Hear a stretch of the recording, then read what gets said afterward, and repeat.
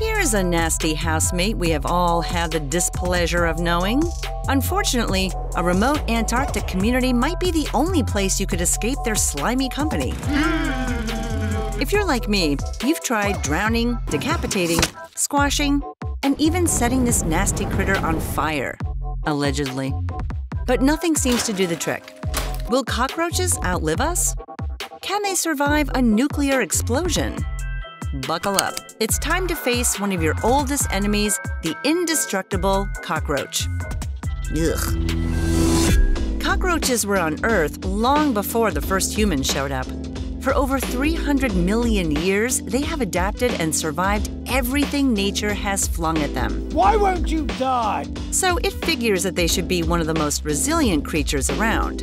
The idea that cockroaches could survive nuclear warfare started after the Nagasaki and Hiroshima bombings in 1945. And curious researchers at Iowa State University tested German cockroaches to get to the bottom of that theory. They reported their results in REMS, which measure the amount of energy from ionizing radiation in human tissue and its medical effects.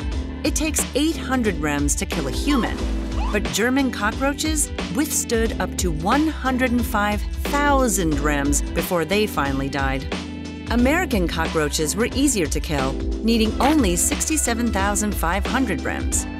So after a nuclear explosion, cockroaches would not be among the first life forms to die, assuming that they weren't close to the explosion site.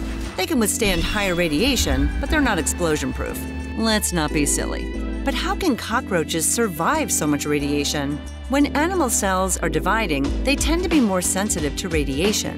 Human cells are constantly changing and regenerating, but cockroaches have slower cell regeneration cycles. They molt every two weeks, and that's their superpower.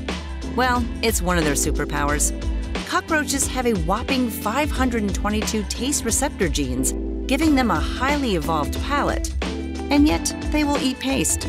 This ensures they don't eat anything that could kill them.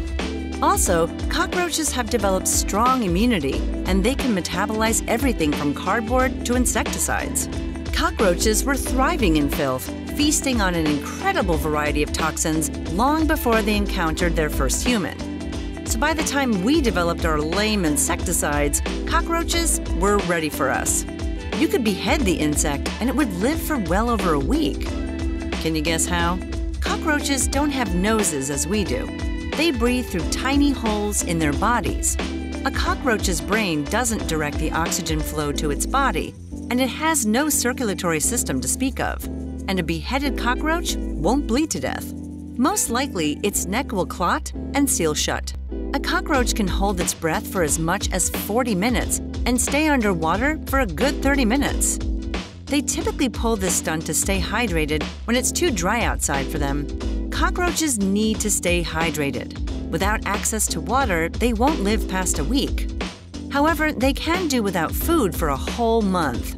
Like many cold blooded animals, they don't waste any energy regulating their temperatures. That means they can stay alive for a lot longer. Oh, goody. The earliest human record of a cockroach is a cave painting and it's 15,000 to 33,000 years old. So these clever critters started moving into our homes as soon as we had them. A cockroach is extremely adaptable and has incredible survival skills.